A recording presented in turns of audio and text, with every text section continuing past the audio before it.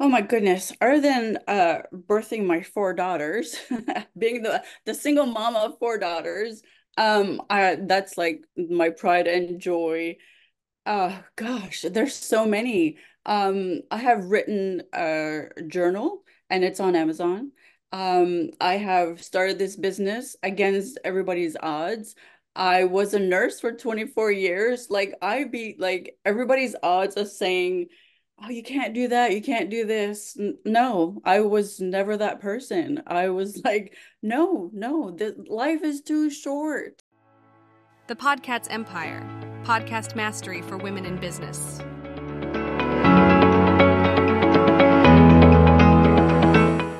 Welcome to another exciting episode of the podcast Empire. Today we have an unstoppable guest joining us, an author who has unlocked the secrets to leaving an incredible legacy and overcoming adversity. Get ready to embark on a transformative journey as we delve into the wisdom and resilience of our incredible guest, one of the Unstoppable Series 4 Powerhouse Edition authors, the best selling series produced by Elsa Morgan. So sit back, relax, and prepare to be inspired as we delve into the power of perseverance and the legacy we can all create. So let's begin this unstoppable conversation with Tina Saulnier. And she is an intuitive consultant, mentor, and author. And she guides you on a journey of self discovery and transformation. Welcome, Unstoppable Tina. Thank you. Thank you. Thanks for having me. Well, this is great because we love to showcase women who are really paving the way for other women and inspiring, motivating, and showing what it's like to overcome adversities, to be the best version of themselves, to be an unstoppable powerhouse, just like you are, Tina. So, what inspired you to write a chapter in the Unstoppable 4 Powerhouse Edition? When Elsa approached me and asked me if I was interested, it was a hell yes. It was an automatic yes because this is exactly what I stand for. I stand for you breaking out of this mold and living an amazing life. I love that. Breaking out of the mold. Tell us more about that. What what does that mean to you? It means that we have been programmed since we were younger to basically please other people, do as others, our parents, our grandparents, how everybody wants us to live and forgetting ourselves basically. So breaking out of that mold and going, no, this is not how I want to live my life. This is how I want to live my life. I want to experience things. I don't want to stay at home. I don't want to go to a mundane job. I don't want to do this. I want adventure and I want to live, live, actually live because people just exist. Mm, I absolutely understand that 100%. The, the programming um, from every aspect can keep us stuck, can keep us, I call it crabs in a bucket, Tina.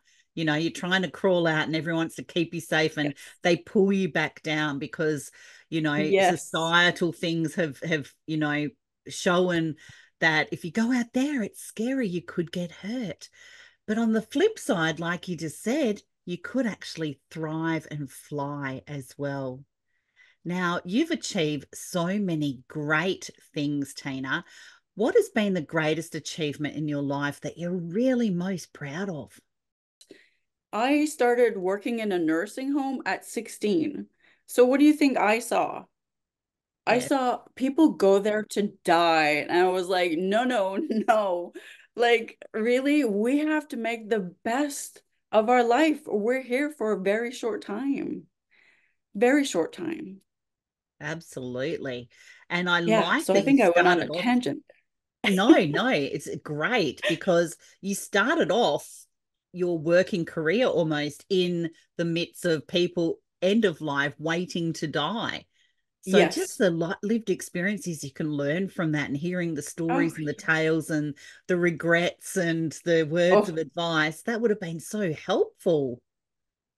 Helpful and sad. Yeah. like really like my last shift or like my last week, I think five people passed away and I was like, no, like it's time to I was there for five years. Wow, that's a long time. I know. Yeah. Yeah.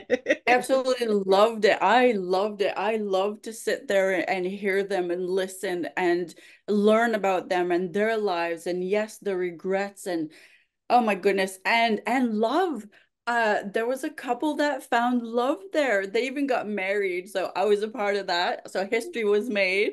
So yes, I have shivers. Yes. Ah, so beautiful. That So beautiful. so great, you know, and it reminds me of the words with Les Brown, you know, um, the graveyard is the most expensive real estate on earth because that's where our dreams go to die. That's So when. I hear people tell stories like you just did, Tina, it just really ignites the hunger in people. Mhm. So the audience that is listening, if this is not igniting your your hunger to be more, to do more, to to just step into the best version of yourself, mm.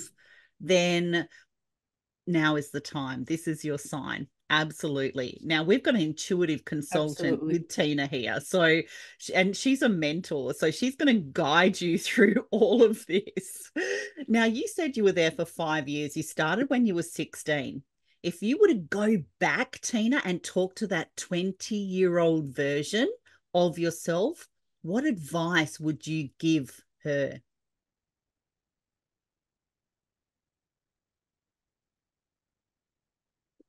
I would tell her to, she was a pretty badass though.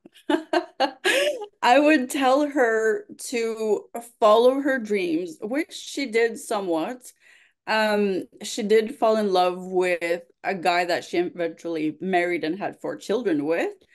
Um, just more listen to yourself. Like, listen to yourself. What do you want? Instead of like at that time, I was working day in, day out, day in. I I was at the nursing home more than the people that live there almost because I was taking every single shift that I could. And so one thing I would say is live a little, live a Mm, little. Yeah. Oh, so that was beautiful. Yeah. Yeah. You can hear the because at that time. I just I felt so bad for the residents that lived there if nobody could fill the shift, right? Because we were short staffed, so I would stay and I would stay. I, I think one time I stayed for three days Oh, because there was a storm. Yeah. Yeah, there was a storm, so nobody could come in and we couldn't leave. Mm, mm.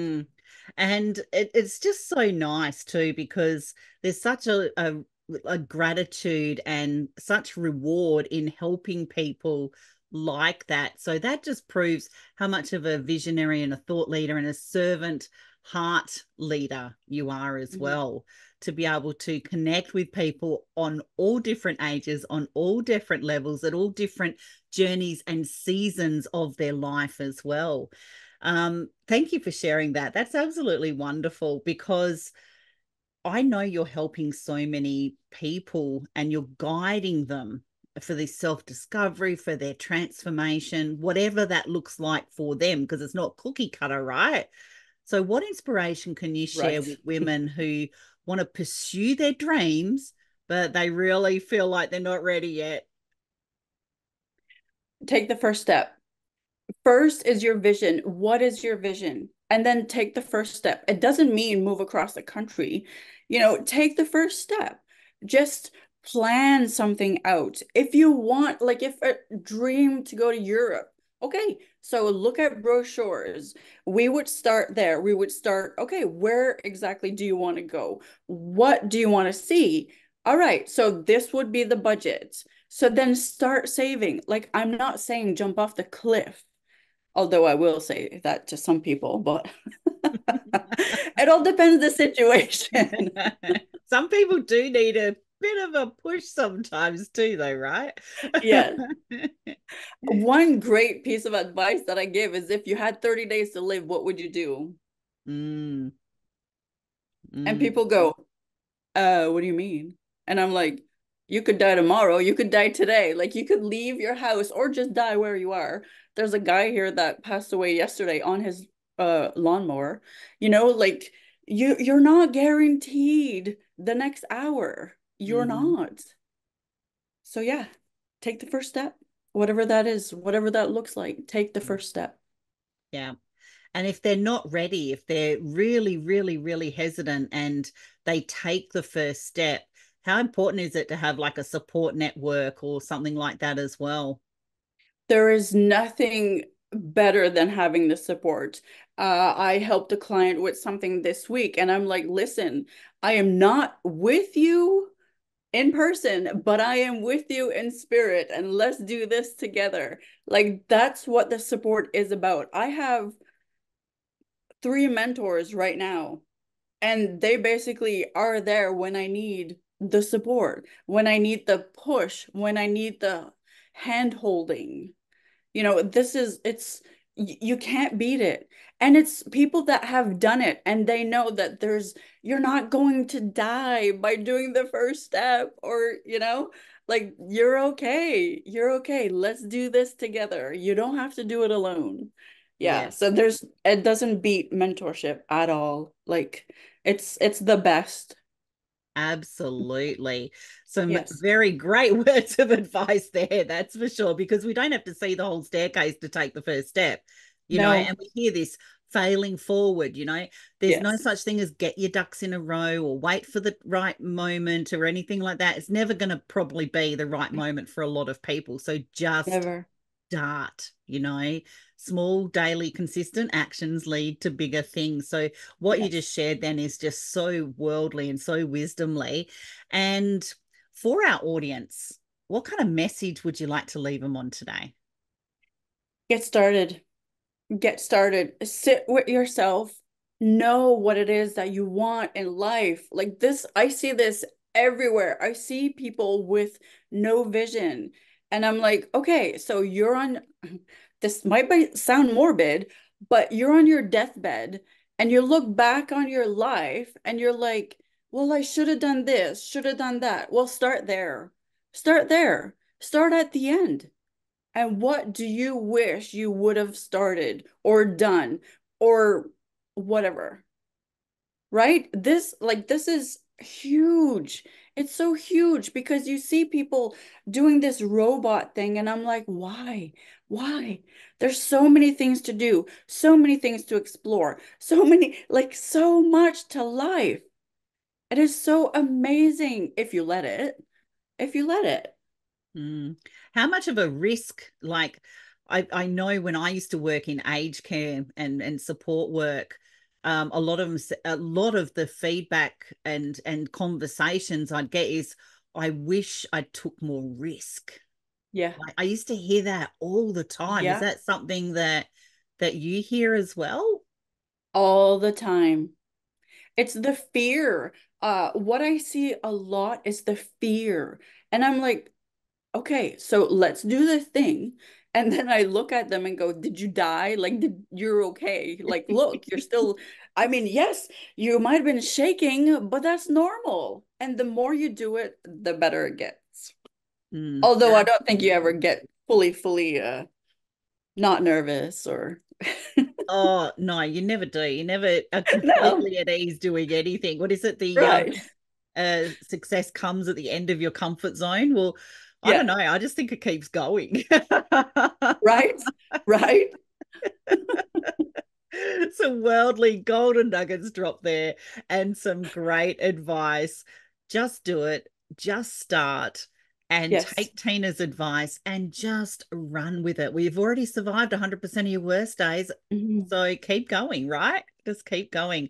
So, Tina's wor- worldly advice is greatly appreciated.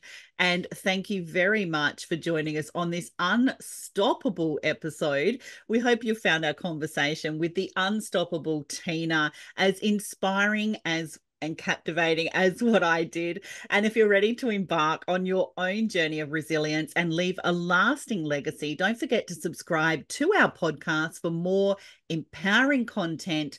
Just like Tina shared with us today. And while you're at it, we greatly appreciate it if you leave a comment so Tina can reply to you on your biggest takeaway from today's episode. And to dive even deeper into the Unstoppable book series, the best selling series, this is number four. Be sure to grab your very own copy in the show notes below and immerse yourself in the stories that will ignite your determination and push you beyond your limits just get started, just like Tina shared with us, and connect with our unstoppable guest on her social media links below. And they are in the show notes as well to stay updated on all of Tina's latest insights and projects. And remember, just like Tina shared on her world words of wisdom, her empowering content today, it is never too late to start your own unstoppable legacy. Thank you once again for joining us in this unstoppable episode, and we'll see you back again. See you in the pod. Thanks, Tina. Thank you. The Podcast Empire, podcast mastery for women in business.